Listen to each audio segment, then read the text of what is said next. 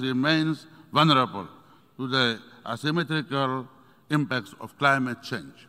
Therefore, at COP27, Namibia plans to announce major developments in its ambitions to decarbonize global hard-to-abate sectors through the production of green hydrogen. Furthermore, the first hydrogen-to-power project in Africa is expected to be operational by 2024 in the town of Swakopmund in Namibia. This is an example of what is possible when we pull together in the same direction. Our ambitions are not only necessary to mitigate the ravaging, ravaging impacts of climate change, but are also a critical component of our post-COVID-19 economic recovery. Therefore, Namibia remains ready to work with the international community to ensure the most optimal utilization of its natural resources to combat climate change. A just energy transition is about fair opportunities for developing nations to sustainably access natural endowments at their disposal. Namibia has recently discovered promising deposits of hydrocarbons and is exploring significant deposits of rare earth metals.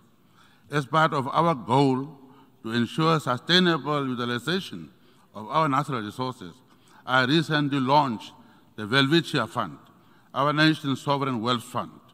The fund is a demonstration of our commitment to fiscal prudence and sustainable resource management for current and future generations.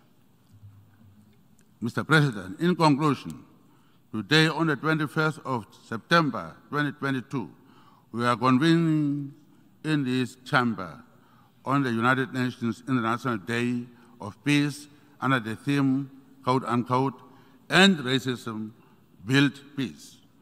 Peace is a wonderful gift, but a fragile one if it is not handled properly. Peace is more than the absence of war. Peace is about inclusivity and development of all nations. Our United Nations, as the premier guarantor of multilateralism, is our best bet to ensure a peaceful and prosperous humanity. Namibia will continue to, play, to place a high premium on the noble aspirations of United Nations as a beacon of hope and equality, eh, hope and equality of all nations. As a beneficiary of successful multilateral efforts, we, hold in high regard the convening power of this August Assembly and recommit to working with fellow member states to change the world for the better. I thank you very much.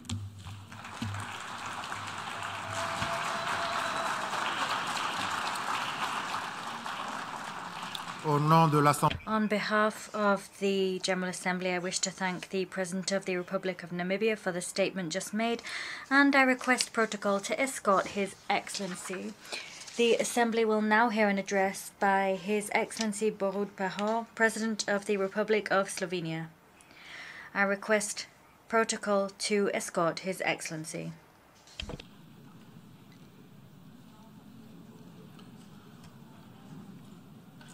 On behalf of the General Assembly, I have the honor to welcome His Excellency Borut Pahor, President of the Republic of Slovenia, and to invite him to address the Assembly. Mr. President, Your Excellencies, ladies and gentlemen, colleagues and friends. I was born after the Second World War. So all my life, the cry of never again, never again, has echoed around the world and especially in Europe. With the exception of the war in Balkans, even the major geopolitical changes in Europe since the fall of Berlin Wall have been peaceful. This has made an important contribution to building hope for a lasting peace. This hope has been thoroughly shaken by the Russian aggression against Ukraine. Will this make us stop believing in the possibility of lasting peace? I think no.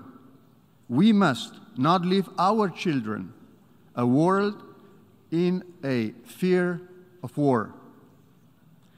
For the sake of their secure future, we have a duty to do whatever it takes we can to ensure that the precious hope, precious hope for a lasting peace returns to our hearts.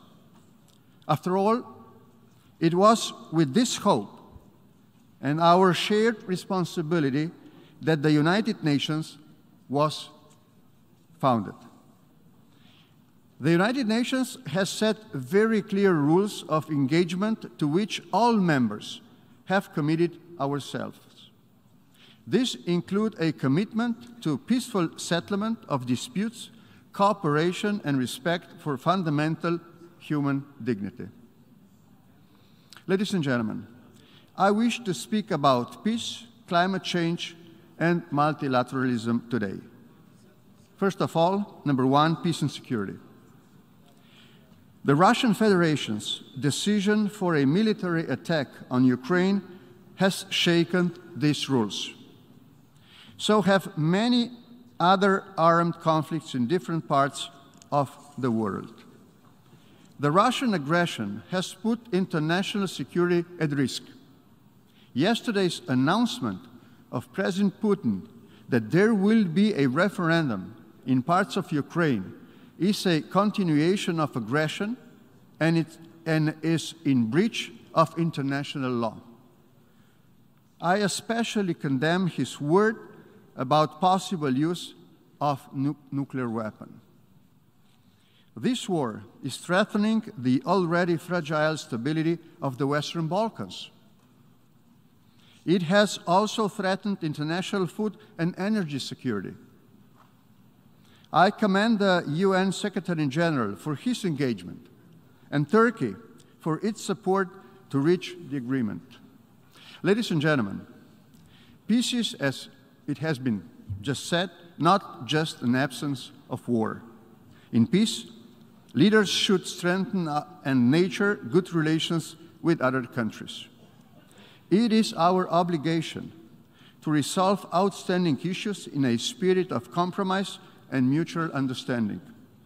Only in this way we will reduce the chances of old grievances and historical traumas uh, to come uh, to life once again.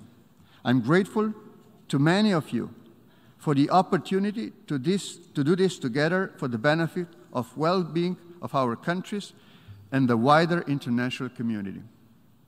Fostering good relations and building trust within societies and between them is the most effective means of preventing armed conflicts. Number two, more cooperation for a better future. Nurturing and strengthening good relations between countries is also necessary to address more efficiently the challenges of our times. Among these, climate change is one of the most pressing. Our common task is to preserve the planet for future generations. What we need is more efficient measures and more solidarity. Slovenia pledges special support to Africa, Caribbean, and Pacific to assist them in their efforts against biodiversity loss, water stress, and climate damage. We are contributing to the least developed countries fund of the Global Environment Facility. Initiating the Green Group, Slovenia is working together with like-minded countries in the promotion of green policies.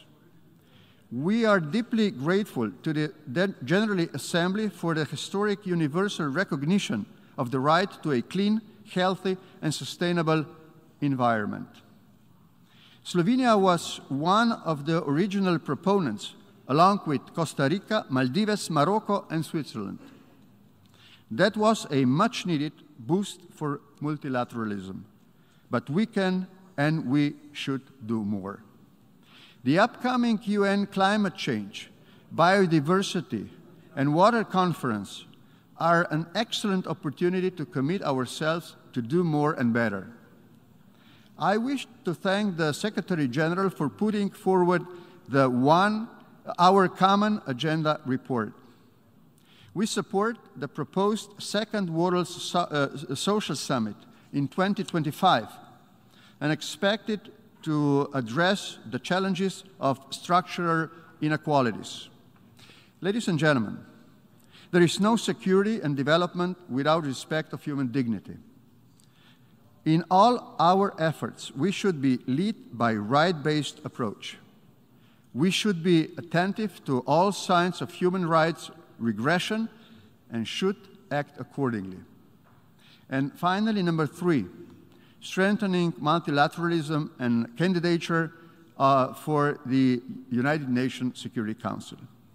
Excellencies, colleagues and friends, the UN Charter is, the, is a fundament of our international system.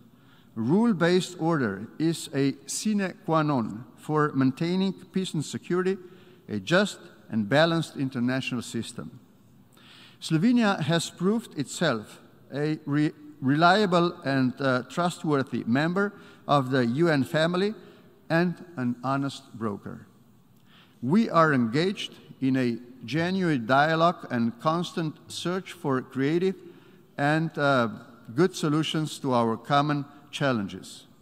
We are part of peacemaking and stabilization uh, efforts that includes humanitarian demining, rehabilitation, and saving the lives of civilians all around the globe.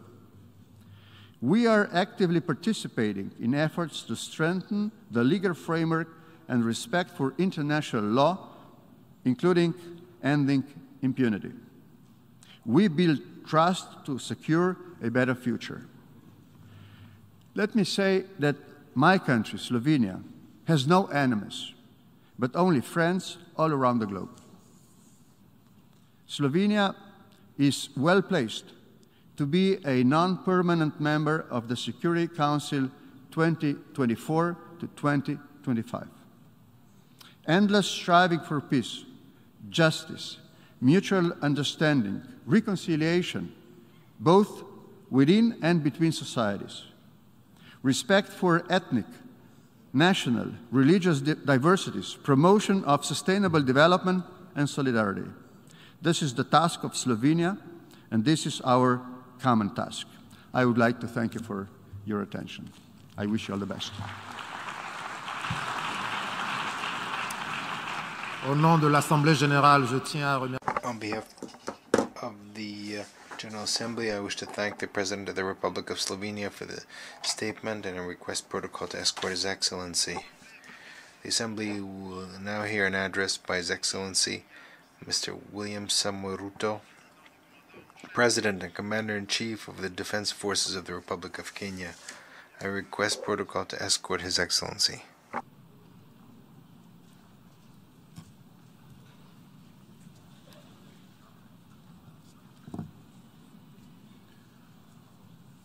Au nom de l'Assemblée générale, On behalf of the General Assembly, I have the honor to welcome His Excellency William Samoei Ruto, President and Commander-in-Chief of the Defense Forces of the Republic of Kenya, and invite him to address the Assembly. Mr. President of this 77th session of the UN General Assembly, Your Excellency Saba Korosi, Secretary General of the United Nations, Your Excellency Antonio Guterres, Excellencies, distinguished delegates, I am grateful for the immense privilege to join Your Excellencies in this distinguished assembly, a privilege made possible by peaceful democratic transition following free and fair elections in Kenya on the 9th of August 2022. Elections that not only stand as testimony of the universal power of democracy, but also of the manifest ability of African peoples to invest in stronger nations and a secure future, robust institutions, effective constitutions, and the impartial administration of the rule of law guarantees the achievement of shared aspirations. This 77th session of the UN General Assembly comes at a unique moment when the entire world is struggling with multiple grave challenges that include regional conflicts, the COVID 19 pandemic, the triple planetary crisis, food insecurity, and the rising cost of living. I take this opportunity to congratulate you, Mr. President, on your election to preside over this session and to express my confidence that your wealth of experience offers us significant assurance of your good leadership. Your motto, Solutions Through Solidarity, Sustainability, and Science, succinctly captures with particular resonance the urgent imperatives of our time. I assure you of Kenya's firm support and cooperation during your tenure. I further take this opportunity to commend your predecessor, His Excellency Abdullah Shahid, for his bold steps in steering the United Nations community and for ensuring its business continuity under the unprecedented circumstances occasioned by multiple global threats such as the COVID 19 pandemic. Excellencies, human well being is under grave threat.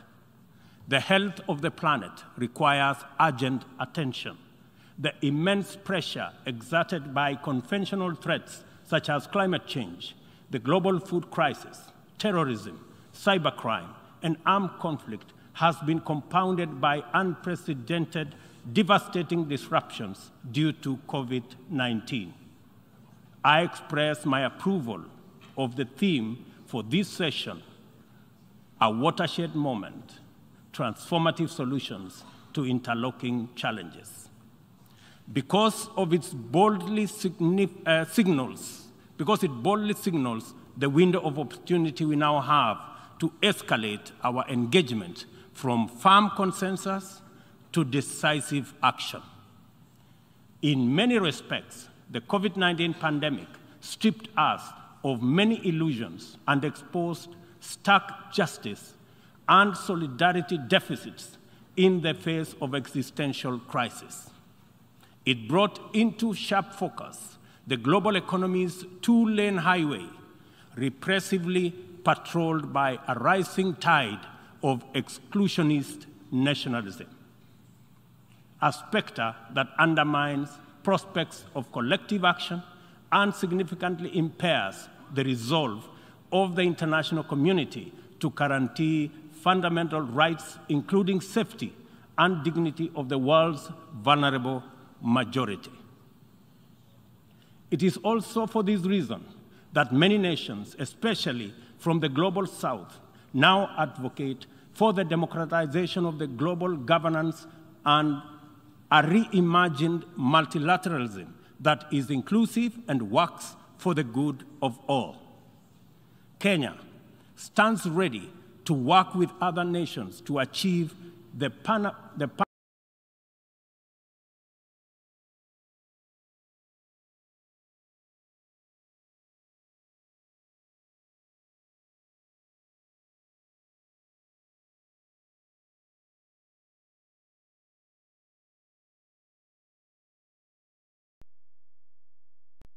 Pan-Africanization of multilateralism and a more just and inclusive system of global governance. It is important to reflect on these matters as we do our best to get our people, enterprises, and industries back on their feet so that the engine of development can power our societies towards prosperity that actually leaves no one behind.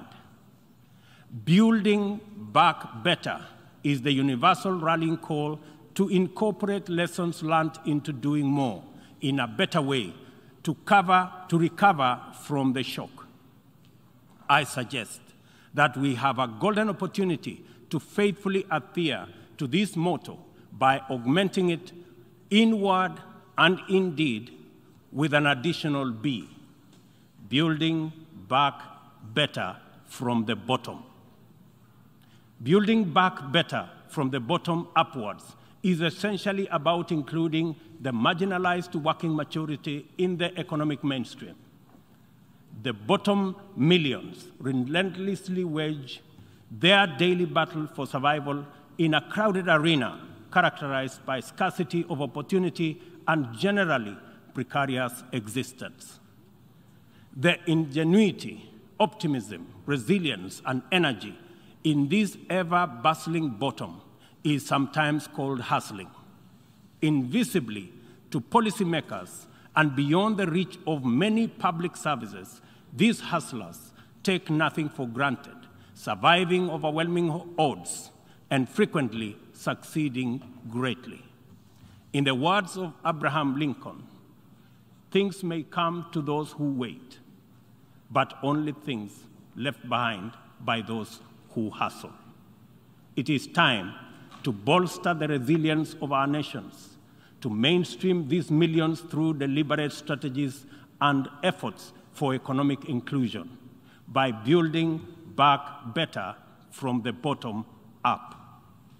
The interlocking challenges of conflicts, triple planetary crisis, and the global food crisis have impeded our momentum and obstructed our focus on achieving fundamental transformations towards sustainable development.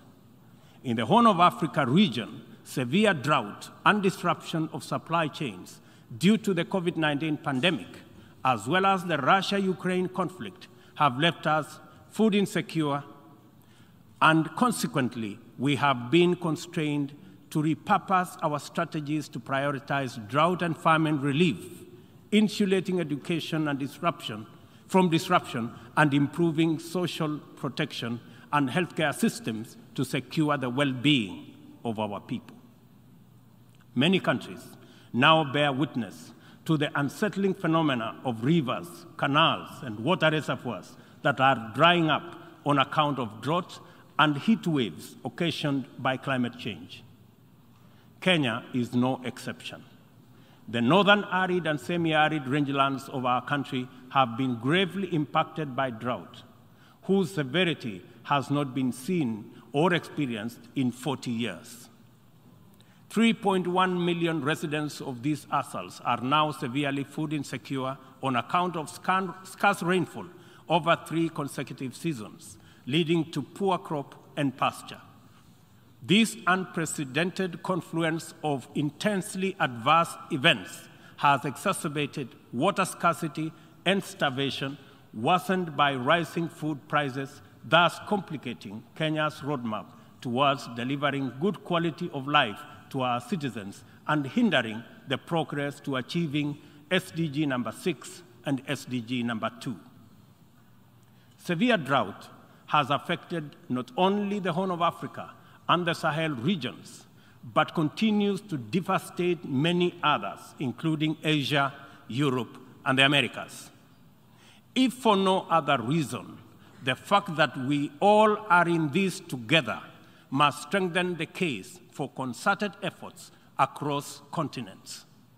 With this in mind, I call on member states and all relevant stakeholders to demonstrate strong political will and showcase effective cooperation by supporting the most affected countries financially, as well as through sharing land restoration and climate change adaptation technologies. It is through collaboration to expand inclusion that we can attain a new paradigm in multilateralism. The latest report of the Intergovernmental Panel on Climate Change reminds us that we cannot afford to waste another moment debating the merits of doing something vis-a-vis doing nothing. It will soon be too late to reverse the course of events, and then even the best possible interventions will not suffice. As leaders, every day is an opportunity to expedite our efforts to confront the triple planetary crisis. It will be recalled that during the Stockholm Plus 50 meeting, which Kenya had the honor of co hosting with Sweden, there was consensus from states on the need to act urgently in addressing environmental impacts. Given this agreement, it is deeply concerning that little progress has been made in respect of the needful actions. It is time to collectively contemplate urgent measures needed to implement high priority actions required to contain ongoing disruptions as we deliberate on long term implementation approaches to be undertaken. I fully agree with the Secretary General's memorable statement that, and I quote, we have a rendezvous with a climate disaster, end of quote. I add that we must not be taken by surprise. If indeed forewarned is forearmed, this is our opportunity to mobilize with tremendous urgency and take action at once.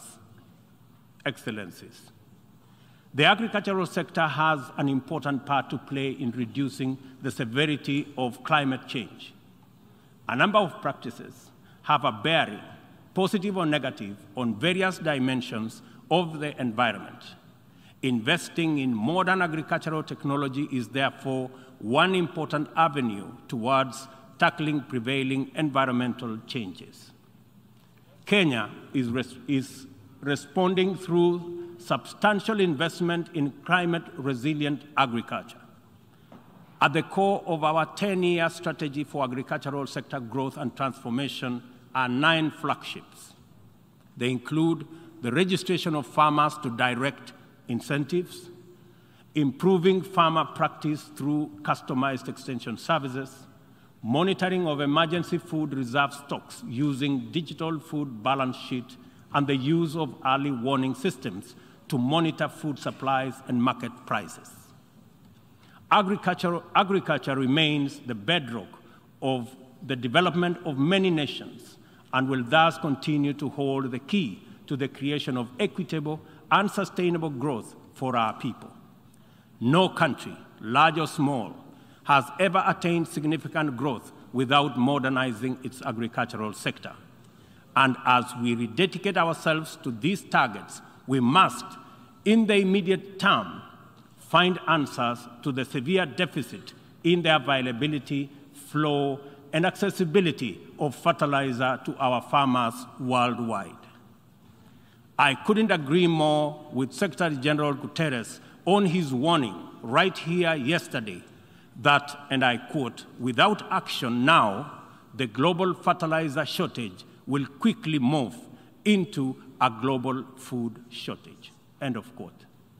We are encouraged to note that education, health, agriculture, and numerous other public services have become increasingly reliant on digital access.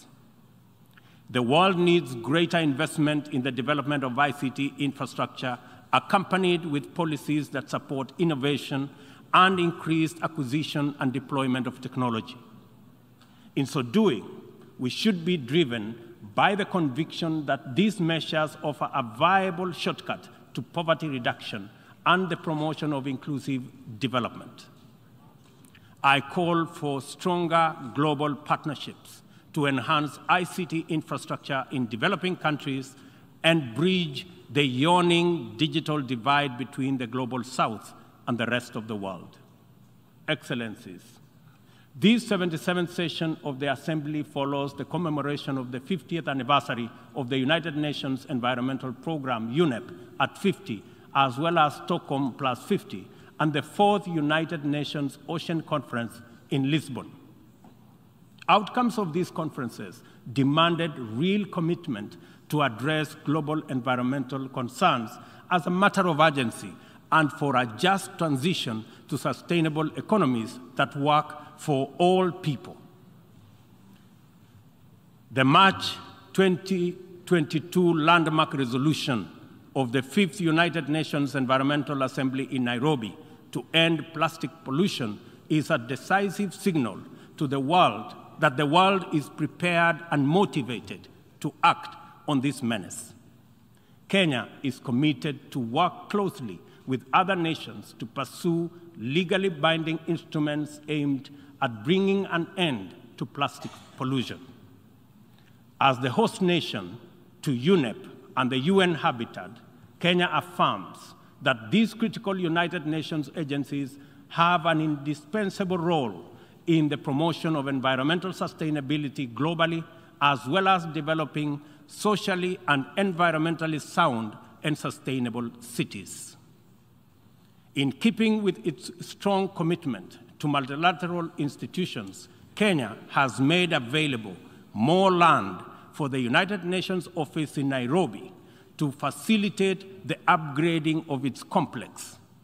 I take this opportunity to call on member states to complement this contribution from, through enhanced financing to adequately modernize the union facilities in Nairobi.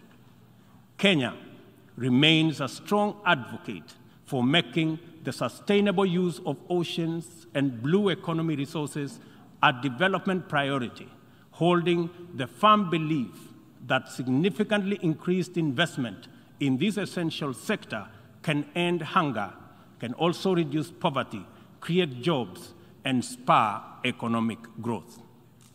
I urge the Secretary General to continue calling attention to the urgent need to develop this vital sector. In particular, I call on developed countries to invest in sustainable fishing, protect marine ecosystems, and share ocean based climate solutions with developing countries. For our part, I am pleased to report that building on the historic 2018 Sustainable Blue Economy Conference in Nairobi, Kenya is reviewing its national blue economy strategy to strengthen community structures in participatory management of fresh water, coastal and marine resources, and ecosystems. The strategy is expected to contribute to our economic development through food and nutrition security, coastal and rural development, and income increases along the aquaculture value chain. It also enhances maritime transport and tourism. We invite development partnerships to invest in Africa towards building capacity to sustainably utilize marine resources. We must rally together to make the best use of Africa's vast blue resources in developing our economies while meeting our climate targets. As we look forward to the 27th Conference of Parties to the United Nations Framework Convention on Climate Change, COP27, scheduled for Sharm el Sheikh in Egypt, it is logical to expect that member states will shift their attention towards the development and implementation of frameworks for climate change mitigation. Accomplishment of pending actions by member states is essential for the implementation work that lie ahead. I therefore call upon all of us to urgently deliver on all commitments made towards climate change financing. On this matter, it is critical to emphasize that we are running out of time. Over the past decade, Kenya has sustained its aggressive pursuit for rapid socioeconomic transformation through three principal roadmaps. First is the Kenya National Vision 2030. Second, the formal long-term blueprint aimed at transforming Kenya into a newly industrialized, upper middle income country, providing high quality of life to its citizens in a clean and secure environment by 2030. The second has been the Africa Union's Agenda 2063, and the third, the Sustainable Development Goals. Kenya looks towards tapping into a variety of resources to catalyze the achievement of these interlocking and mutually reinforcing objectives. The disruption and ensuing crisis due to COVID-19 pandemic compelled us to diversify our focus into new interventions, including economic stimulus program, a COVID-19 economic recovery strategy, and a COVID-19 socio-economic re-engineering recovery strategy, all aimed at mitigating the adverse impacts of the pandemic. I confirm that we have done the best of everything we could in the circumstances. Nevertheless, it is not enough. Kenya and the rest of Africa, like other developing nations, are in need of greater international partnership and cooperation to avert economic crisis in the wake of the pandemic. Developing countries, being heavily burdened by external debt servicing, run the risk of losing development gains due to the shocks inflicted by the pandemic and associated disruptions. I call upon global financial institutions and the international community to take urgent measures and release all existing financial instruments to provide much needed additional liquidity and secure better fiscal space for developing countries like Kenya to enhance social investment, support climate change adaptation and mitigation, and address security needs and resolve development financing challenges. On behalf of Kenya, therefore, I join other leaders in calling upon the World Bank, the International Monetary Fund, and other multilateral lenders to extend pandemic related debt relief to the worst hit countries, especially those affected by the devastating combination of conflict, climate change, and COVID 19. Furthermore, I urge the G20 to extend and expand the scope of the common framework to suspend or reschedule debt repayments by middle income countries during the pandemic recovery period. At this point, I would like this distinguished assembly to take a moment and consider the peace and security landscape, a landscape currently beset with multiple challenges, yet abounding with considerable opportunities. Our home region of East and Horn of Africa is in particular burdened by significant conflicts and challenges with implications for the region's development. We stand on the cusp of first opportunity for galvanizing confidence building measures to generate and sustain momentum towards sustainable peace. In its role as an anchor state in the region, Kenya has sustained our investment in diplomatic efforts to find lasting peace in multiple situations within and beyond the region. Although some processes have yielded undeniable success, challenges remain. I therefore strongly reiterate our call for partnership towards confidence building measures and urge more concerted efforts towards sustainable peace and stability. Kenya is currently serving in the United Nations Security Council. I am proud to confirm that our engagement over the last two years has prioritized regional peace and security, counter, countering terrorism and violent extremism, peace support operations, climate, and security as critical contributions to the collective efforts to build a safer, more prosperous, and peaceful world. I am also proud to state that Kenya has continued to champion closer cooperation between regional mechanisms and the Security Council as an effective means to achieving international peace and security.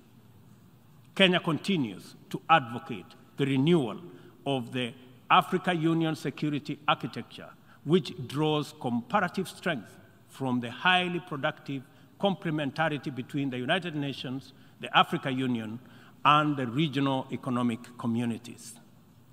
Working closely with the two elected African countries of the A3 in the UN Security Council, we are committed to finding a stronger Africa voice in the Council and achieving a consensus driven, rules based multilateral system. It is our manifest intention to see greater Pan Africanization of the global agenda in order to make multilateralism work for the people of the world in their diversity.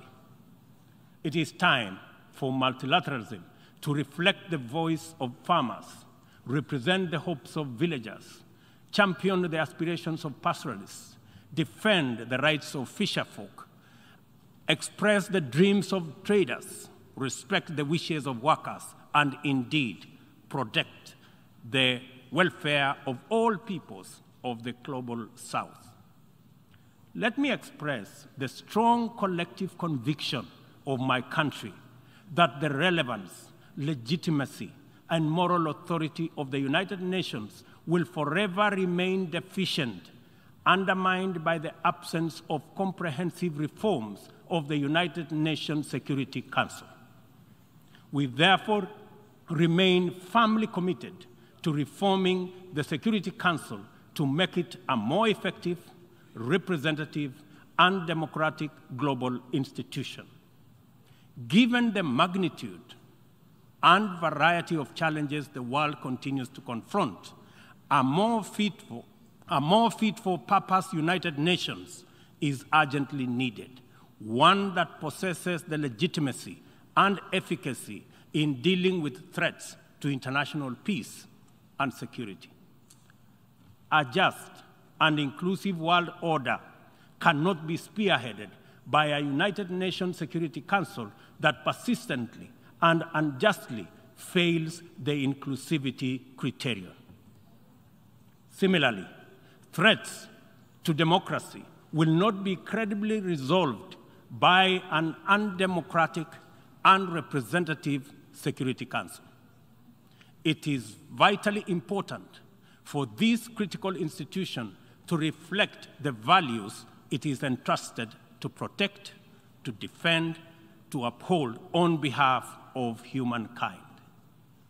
We welcome the call by President Biden this morning for the expansion of the membership of the Security Council as a significant step in the right direction, and we look forward to building consensus for the actualization of the same. The COVID 19 pandemic severely disrupted health systems, seriously challenging the implementation of programs that are vital for the realization of health related sustainable development goals. To place us firmly back on track and accelerate our progress towards these SDGs targets, it is imperative for us to foster sustainable partnerships between governments, other state actors, the civil society, and the private sector. This modality of collective action is particularly vital for building resilient health systems whose importance in enabling us to withstand future pandemics and other health crises can no longer be disputed. For this reason, Kenya will continue to strongly support the development of legally binding World Health Organization international instrument to anchor global solidarity and promote equity. The fact of the matter is that the COVID 19 pandemic exposed for all the world to see the severe deficit of these critical values in our present multilateral configuration. Global supply chains remained impervious to demands in the global south generally and Africa in particular. Unequal access to vaccines underscored this unjust and unequal situation with unforgettable clarity. Whenever human life, security, and welfare is in jeopardy, it is immoral to administer interventions through frameworks that are anchored on fundamental inequality. We are all witnesses to admirable demonstrations of effective solidarity in response to crises in various parts of the world. Our knowledge of the possibility of spontaneous yet resolute global solidarity reinforces the African exception as particularly repugnant. From genocides and civil conflict to famine and pandemics, the African continent is consistently left behind to bear the brunt of weak solidarity and disastrous failure of multilateralism. History indicates the last time Africa was the focal point of strong and effective multilateralism and multilateral consensus was during the Berlin Conference of 1884-1885 and the character of the ensuing interventions casts a long shadow to date. Not to put too fine a point to it, the failure of multilateralism during crisis which relegate the people of Africa outside the cycle of moral consideration and normalizes humanitarian neglect and other casual injustices are failures of humanity. Nothing about Africa, and I say nothing about Africa or its people makes it acceptable for this type of failure to persist in this era. And we have an urgent moral duty to better, to do better, and to right this wrong. For decades, Africa has borne the brunt of three epidemics the HIV, tuberculosis, and malaria. I applaud innovative partnerships like the Global Fund for their, for their progress in addressing the three menaces, and also welcome the ambitious targets set for the seventh replenishment cycle. Kenya is committed to supporting the Global Fund and implementing the agreed targets in order to actualize our pledge at the replenishment conference. Kenya calls upon all countries implementing the Global Fund programs, especially fellow African states, to remain at the forefront in championing for successful replenishment of the fund. This way, the mobilization of much needed resources is enhanced, bringing us closer to the final elimination of these dangerous diseases.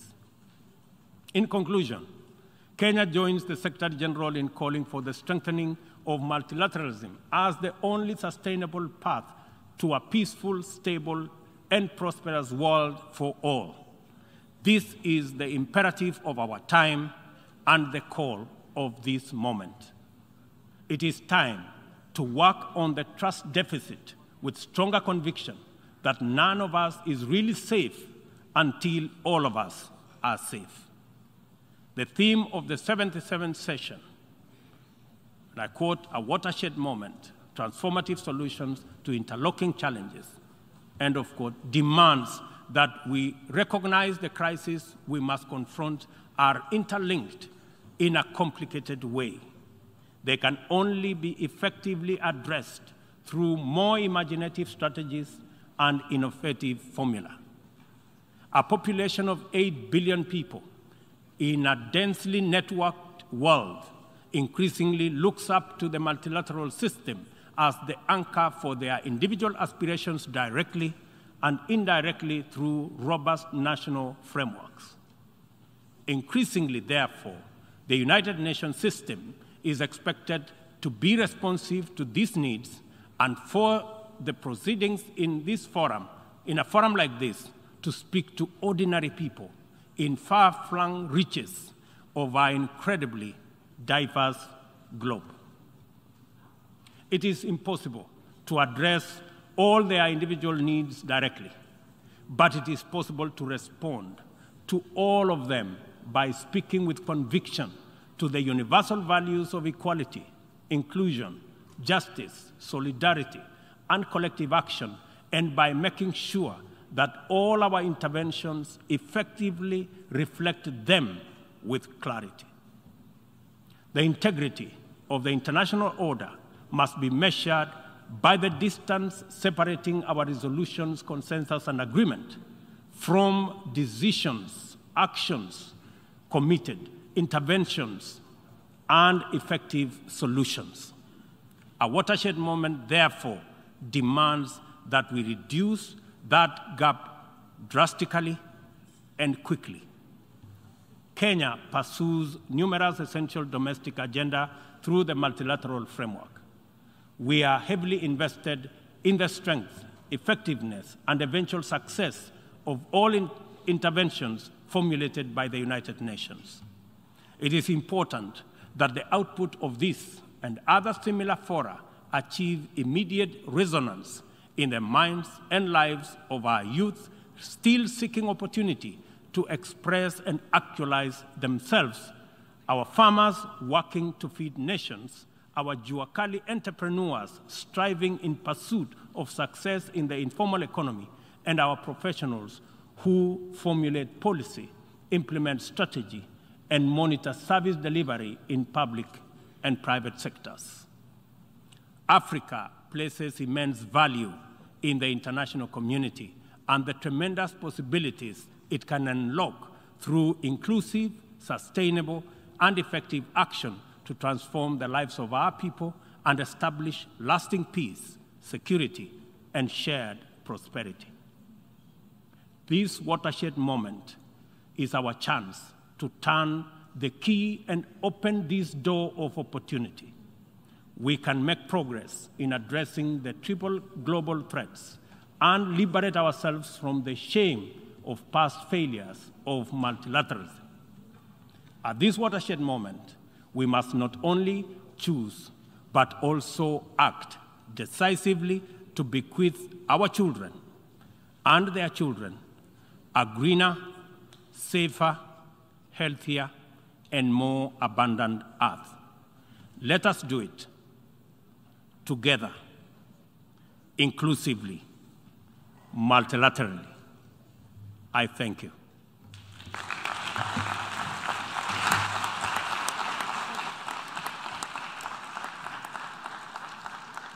Au nom de la On behalf of the General Assembly, I wish to thank the President of the Republic of Kenya and Commander in Chief of the Defense Forces of the Republic of Kenya for his statement, and I request protocol to escort His Excellency.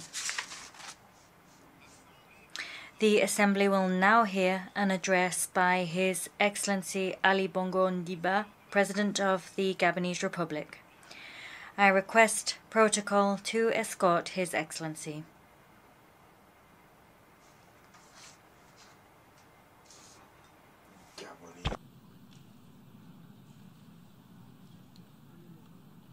Au nom On behalf of the General Assembly, I have the honor to welcome His Excellency Ali Bongo Ondimba, President of the Gabonese Republic, and I invite him to address the Assembly.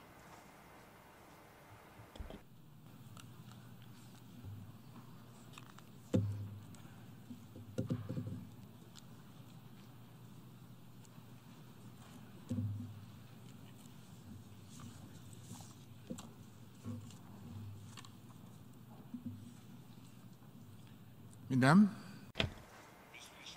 Heads of State and Government, Excellencies, ladies and gentlemen, Mr. President.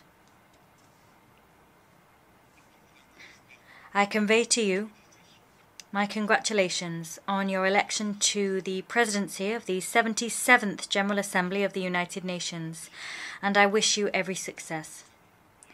I greet and congratulate your predecessor, Mr. Abdullah Shahid, for the commitment which was patently clear throughout the 76th session. To the Secretary General Antonio Guterres, I reiterate the full support of my country as he serves our organization. Mr. President, I am delighted to once again stand earnestly before this rostrum because the situation demands just that. Indeed, the international system is at a critical juncture. The world struggles to recover from a pandemic and sits in the clutches of a multidimensional crisis.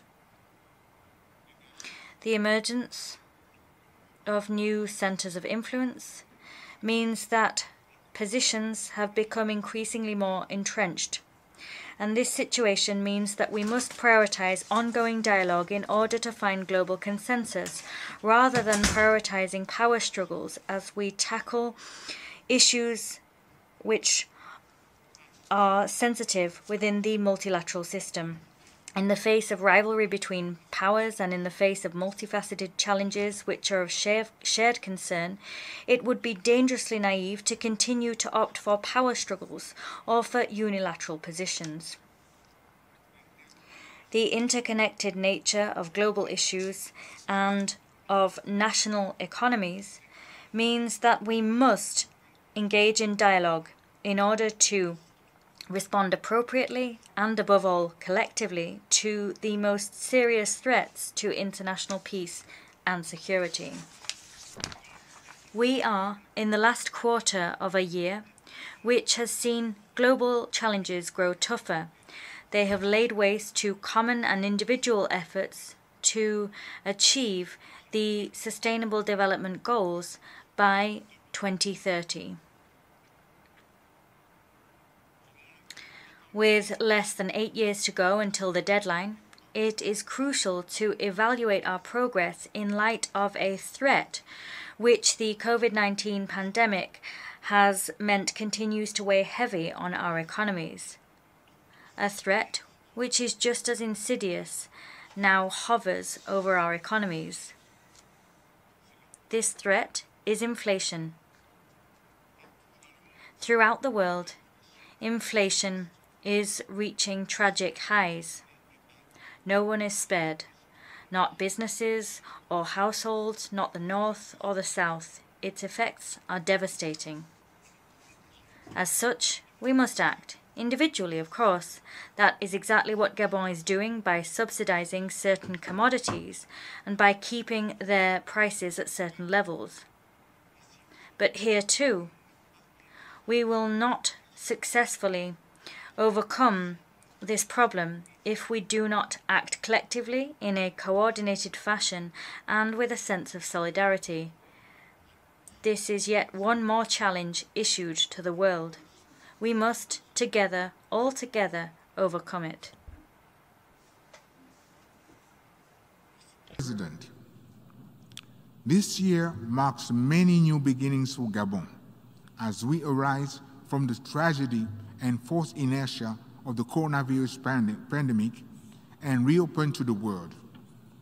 We are the newest member of the Commonwealth of Nations, home to 2.5 billion people, one third of the world's population, with shared values of respect for democracy, human rights, and the rule of law.